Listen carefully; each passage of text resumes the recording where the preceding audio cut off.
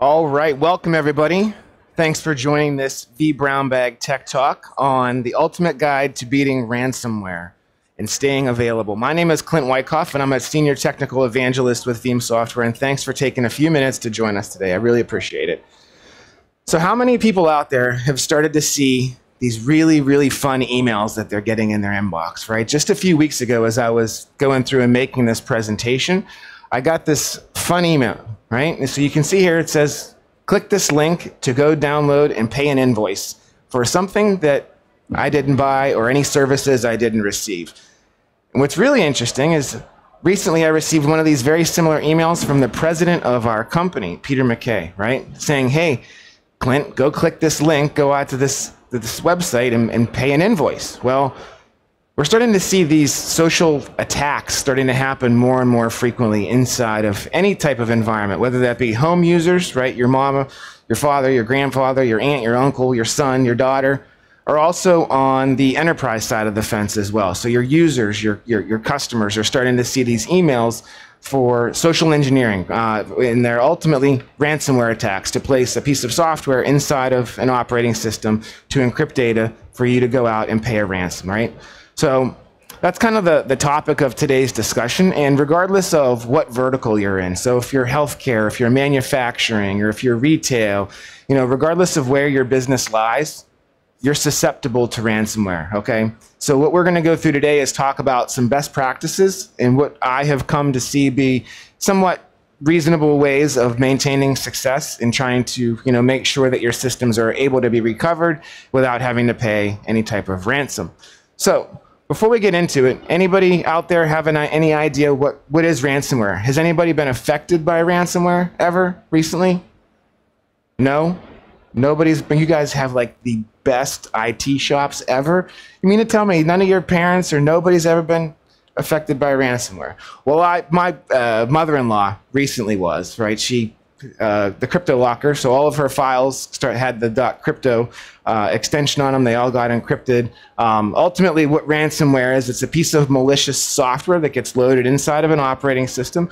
And there's different ways that it uh, presents the, the payload or what it is requesting you to go pay the quote unquote ransom. So it can either encrypt the entire file system, right, so that the machine is no longer even bootable, or it can go out and, and encrypt specific file extensions. So if it was like a .pdf or a .docx, right, it can go out and encrypt those specific types of files. And even some of the more recent attacks, we're starting to see not just individual PC infections, but they can spread out across a network, right? So they're able to kind of grab credentials, so whether that be domain administrator credentials, and go out and say, for instance, encrypt an entire file share, right, where all of your users' documents lie. But the most important thing for ransomware is they don't necessarily care about the data. And most times, if you do pay the ransom, the hackers will actually tell you how they got inside of your environment, right? and what they did to, to gain access. But the most important thing for, for, for a hacker is they want you to pay the ransom, right? They want the money. That's what they're, they're after. And as you can see here, there's been many different variants of, of ransomware. Probably the most recent one out there was the, was the WannaCry, and that one has received much publicity recently. Um, and this one was unique because, as I mentioned, it was able to get inside of environments and then capture credentials and, and spread out, right? So it was able to, once it was inside of an infrastructure via one point of entry, it was able to kind of land and expand and spread like a, like a virus, essentially. Um, but there's been other variants, as you can see here as well. And there's different approaches. So any of you guys use LinkedIn? Girls use LinkedIn? We all do. Do you ever start to see some of these rogue re uh, requests from people you have absolutely no idea who they are?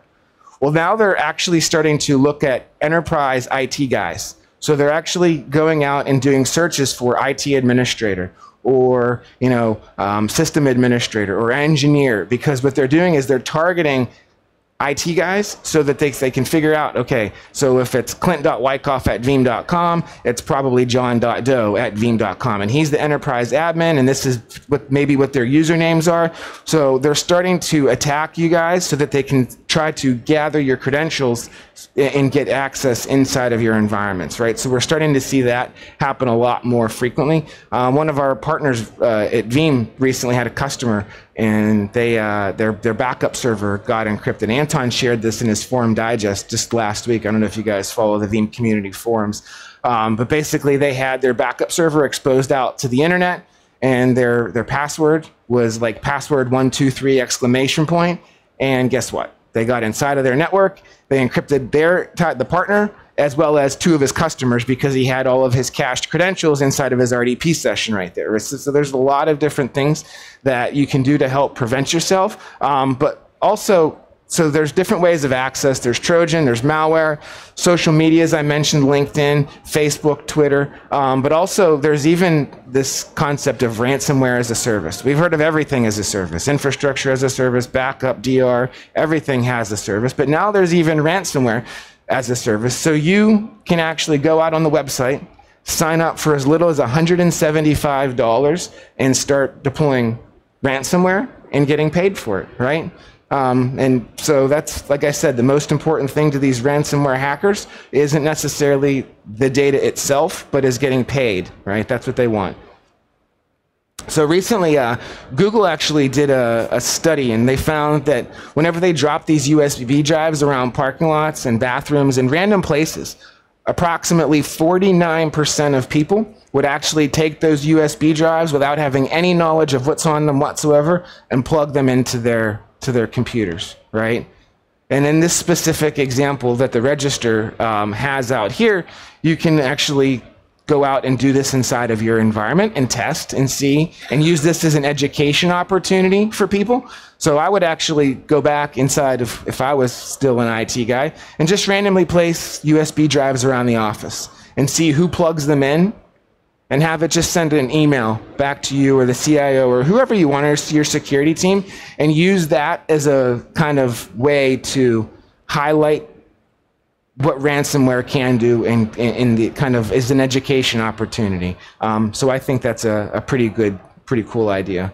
So the big picture of ransomware. Now, it's been around for a long time back. Actually, kind of the first iteration of ransomware was at the World Health um, Organization. It was a trade show back in 1989. And the guy that was running this, he was seeking funding to do research on AIDS, the HIV virus, right? So he actually handed out floppy disks at this conference, at this show, that had essentially ransomware, one of the first versions of ransomware, where it, wanted, it prompted the users to pay 189 bucks, $189. And he was going to use the, that $189 as funding for his research against AIDS, right? So he was seeking funding and he was using this as a mechanism to get money from the, from the attendees. So um, you can see here it's, it's evolved. Now, this screen right here is probably very popular. I'm sure you've at least seen it before if you haven't been affected by ransomware, but this is known as the payload. Once the machine has been infected, you get prompted to pay the, the ransom, and whether that be a, a you know, essentially locking the computer so as soon as it boots up, it prompts you to, uh, to, to pay the ransom, or if you try to navigate around, um, you get constantly prompted to, to, to pay the ransom. Now, most commonly, the, the methodology in which these, these hackers recently you know, would like to be paid is in an e-currency, and that typical e-currency is either Mint, that's a popular one, or Bitcoin. I would say probably Bitcoin is the, the more popular because any of those e-currencies, they're completely 100% not traceable back to where the where the money is going, right? So for those hackers that are requesting payment in e-currency, that's not traceable back to, to, to them, right? So they're able to get paid in completely 100% anonymous fashion. And as I mentioned, there's even websites where you can go and you can sign up. You can see here that you can, you know, participate in ransomware as a service. So Back in 2016, we did a, a, study of approximately 900 companies, some of which were Veeam customers, some of which are not Veeam customers. And probably the most interesting fact on this screen right here is that 84% of the folks that were uh, surveyed were able to recover without having to pay the ransom. So really, the, the way that I view this is you have three options you can either have complete data loss and not pay the ransom and not be able to recover your data. You can pay the ransom and get the decryption key, or you can recover from any type of backup that you have, right? So you really have got three different options there. The other interesting study that we've done is with our support organization. So in 2016, we had approximately five cases that were opened in that beginning of that year um, in relation to ransomware. And at the end, we were up to 35 cases. So there's been a severe kind of increase in customers that were contacting our technical support organization looking for help in recovering from ransomware attacks inside of their environment. So this is definitely something that's on the uh, on the rise. And kind of another small segment of those requests were looking for folks looking for help on how to make sure that their environment was set up optimally optimally. So you know we can make and take a lot of different studies and really dive into the cost of what downtime is associated right? So we can dive into the and look at the cost of what ransomware is. Typically you know any individual machine that is that is uh, affected by ransomware, the the the ransom is typically around one to three Bitcoin, which, if you relate that into U.S. dollars, is around 1,000 to 3,000 U.S. dollars per machine. Now, the the interesting part of the ransomware cost. So they want to get as much money and exploit you as, as much as possible because they want to, you know, that's what that's what they want. They want the money, they want you to pay the ransom, but they can't make the ransom so outrageous that you don't pay it. Because, you know, if it was like $10,000 per computer, you know what? There's no way in that, that anyone is going to do that. They're going to figure out some other way. But if the, if the path of least resistance is, oh, you know what? I'll just pay the ransom. It's not that bad, right? Um, so that's kind of getting inside of their, their thought process there. So, um, and as I mentioned, e-currency, Bitcoin, and you can actually go out here on the New York Stock Exchange. So this is pretty relevant data. It's as of last Friday, September 8th. So you can see here that the one individual stock of Bitcoin is around 4,300 US dollars. That's for one share. And as of right now, it's up almost 600% over the last year. So I think that's pretty telling. And then you can see here, if you trend this out, you know, the Bitcoin itself, very, very, very little. So if you were an investor back in 2015, beginning of 2015, and you invested in Bitcoin and you own shares of that, you're probably made a right investment. but the most important thing here, as we've, all, as we've discussed, the goal is always the same, and those hackers want to get your money. And as I mentioned, you know, we can take studies and we can put marketing documentation together and all this stuff, but the cost of downtime is real. Now, whether that be, you know, on system downtime, end user downtime, developers, whatever, there's a cost associated with that. Whether that be a hard cost of people sitting at their desk twiddling their thumbs, or that be the cost of actual machines offline. Okay, whether that be servers, desktops, workstations, right, applications. But most commonly, you think that ransomware is only for Windows. Well, guess what? You're wrong because now there's even attacks out there that are specifically for Linux operating systems, Mac OS, right? So not only are Windows operating systems susceptible, but also, um, you know, those other types, Linux, Mac OS, they're open fair game too. So go out on the Googles there. If, if this piques your interest, you can actually become a hacker yourself and you can sign up and you don't even need to know anything whatsoever about ransomware because that's what the ransomware as a service they make it really simple and easy for you to go out there and get started for as little as $175 and that's They've even got different packs and different levels that you can sign up for, and that's just the starter pack. So you can even upgrade and get kind of advanced ransomware as a service deployments. So if this sounds like something of interest to you, even you knowing nothing whatsoever, you don't know how to code, you don't know how to do anything, all you need to do is go and sign up this as a service. And I think that is telling of just the industry in general, um, because you've had, you know, the rise of ransomware obviously there's money to be made to the point where companies, I mean, they might not be the most, um, uh, how do I say this, the most uh, forthcoming, best organizations out there, but that, you know, you can sign up for, I think that's pretty interesting.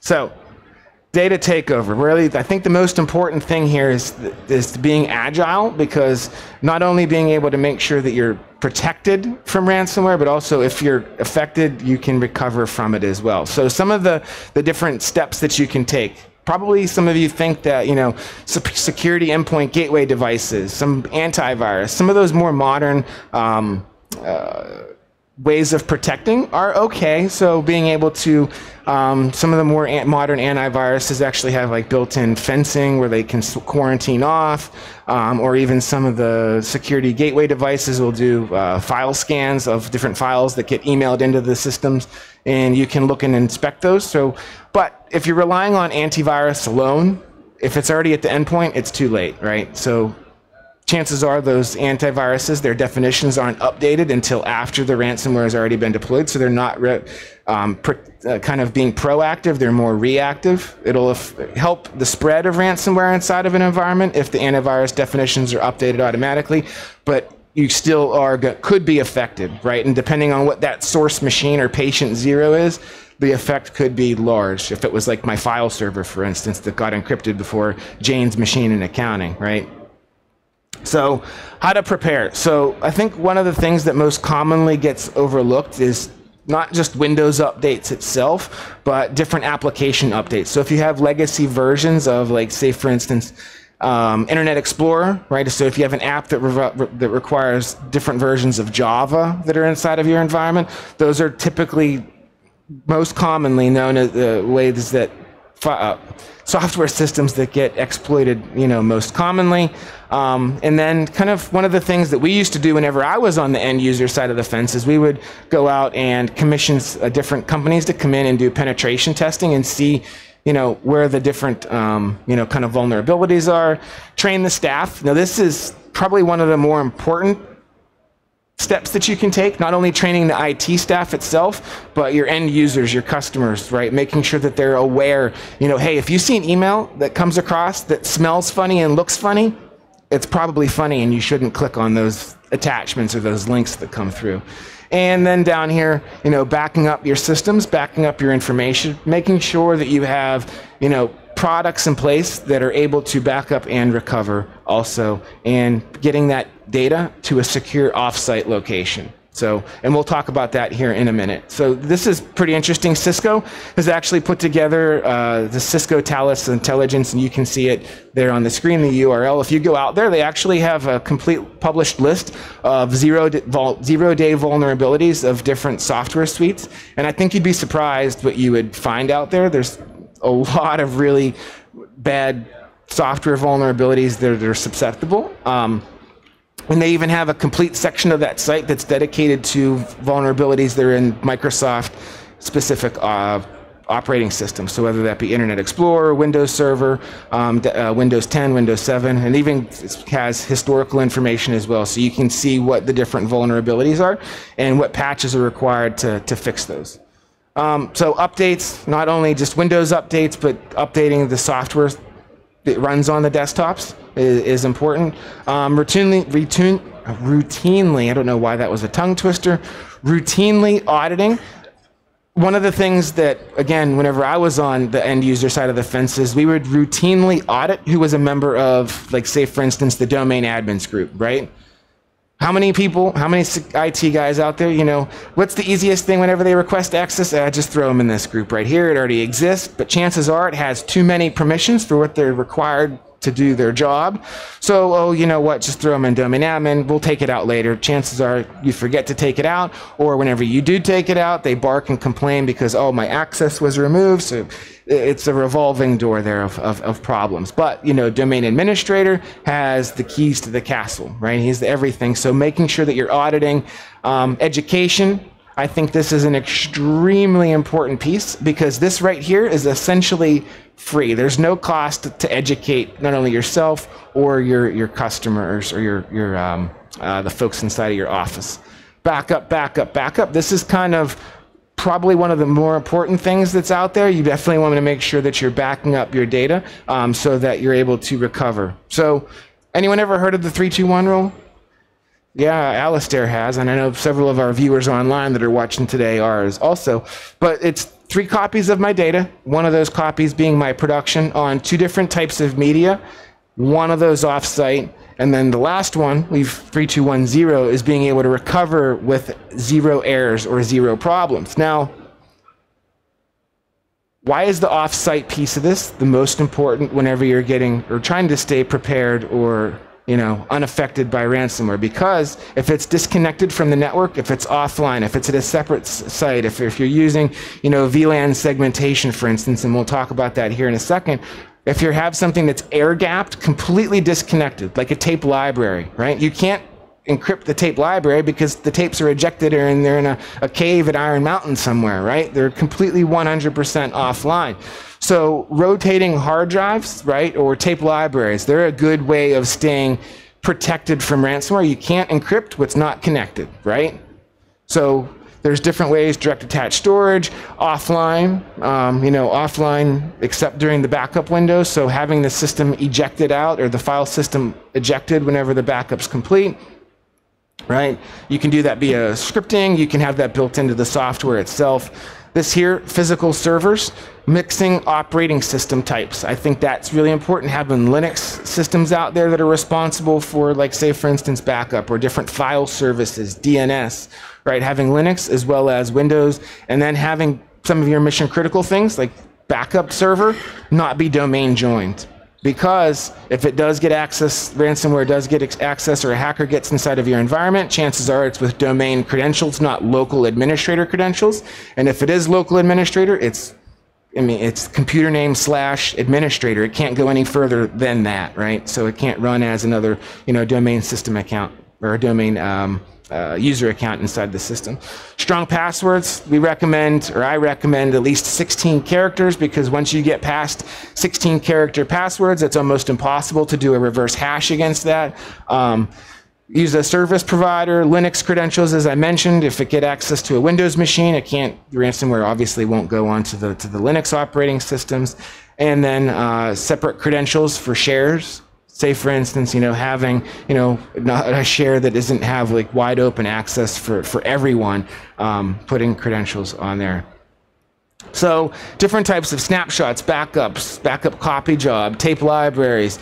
The more copies of your backups the better off you are. And um, we like to call kind of the offline tape storage here being air gap protection, right? Something that has completely physical separation, completely 100% disconnected off the corporate network there.